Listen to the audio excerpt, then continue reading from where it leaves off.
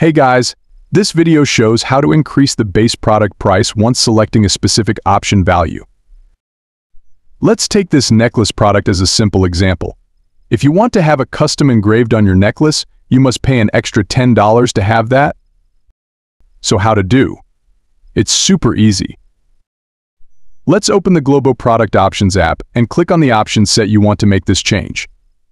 Click the Custom Engraving option. On the Yes value, click to the Add-on Price box. In the Price field, enter the additional price. In this case, it's $10. Click Select button, then click Save to finish. Now refresh the site to see this change. When selecting this Yes value, $10 is added to the main product price.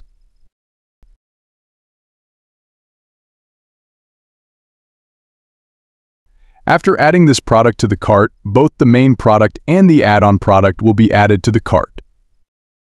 The main thing here is all add-on products must be activated for the online store sale channel so that the add-on pricing can work properly.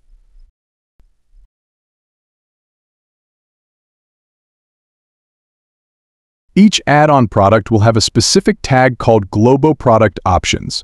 You can easily find it in the Shopify Products folder. You can track the inventory of this add-on product like normal products.